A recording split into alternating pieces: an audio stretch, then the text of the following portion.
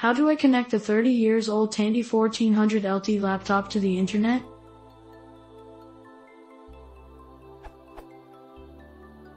Just for the fun of it, I want to get an old Tandy 1400 LT laptop.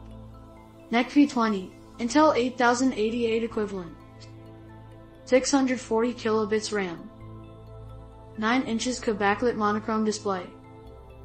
23,5 720 kilobits DD floppy drives. RS-232C serial port, DB9 meters. Centronics port parallel, DB25F.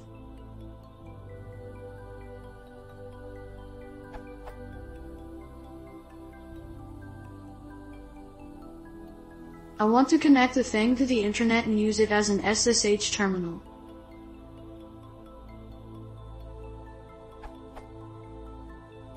The OS should be no problem as it is a 386 hardware. There should be a small Linux distribution which can be run on it. The problem I see here is the internet connection. Does anyone have experience with serial slash parallel to Ethernet converters?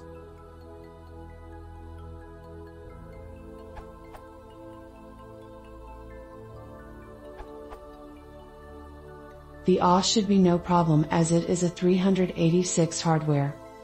You'll probably need 4 MB of RAM, likely higher, at an absolute minimum to run Linux, and likely 16 MB to run any distribution or kernel with a decent software selection since 2000 or so. If you can't upgrade the RAM you are stuck. Some brief searches seem to suggest this has an 8088 with 512 kilobits or 768 kilobits or RAM, though. Modern Linux won't run on that at all. You may want to keep an eye on ELKS, the Tandy's NEC CPU is mentioned in the boot slash setup.s file.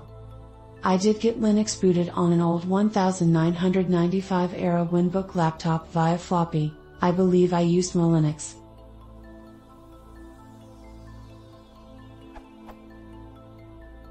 RS-232C connector.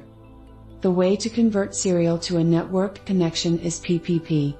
You would need to set up a PPP client on your laptop, and have a PPPD running on another Linux slash Windows host that can route your PPP connection to your outgoing internet connection.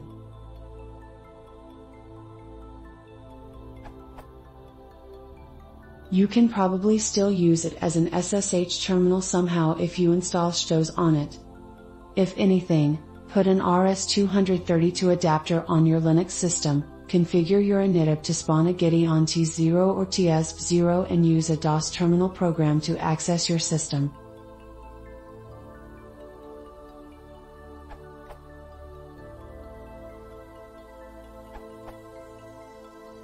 Well, if you're really feeling old school, you can go back to a prehistory I'm barely old enough to remember. You will need a copy of DOS to run on the Tandy. Kermit the terminal emulator, not the frog. A null modem cable, or for some real old school cred, a couple of dial-up modems and AMP, phone lines. A machine running some kind of Unix like OS, connected to the internet, with a serial port.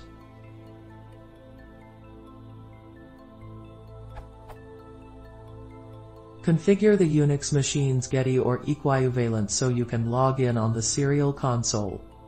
Connect the Tandy to the Unix machine's serial port. Either using the null modem cable or via the two modems and the telephone network. Fire up the terminal emulator. Dial the modem if required. Log in to the Unix box. Use Lynx or Links, FTP, Pine, or any other favorite text mode internet software. For best results watch this while setting it all up.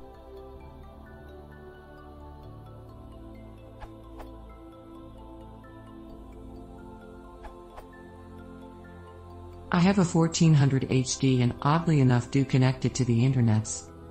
The best method is to get a Xircom P310BT Ethernet adapter which will connect to the 1400's parallel port. The P3 has a DOS OD driver which will let you use a TCP stack like MTCP, WATCP, PC slash TCP, etc. MTCP includes a IRC, FTP, Telnet and other clients and works well. Next would be to connect a Digi One SP or Linux box running CPSR to the 1400 serial port and use it as a virtual modem.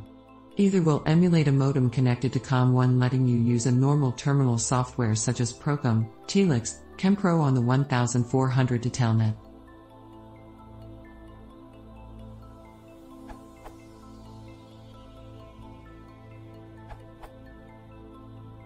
May I suggest that you try Minix v2.0? It will run on XT hardware like your laptop, although it will probably take some fiddling. Minix 2.0 is reasonably full-featured and there is a contributed PPP driver that will also run on XT-style hardware. You can then use PPP over a serial connection to a properly networked Linux system. Finding an SSH client that will work on Minix with so little memory is more of a challenge, however.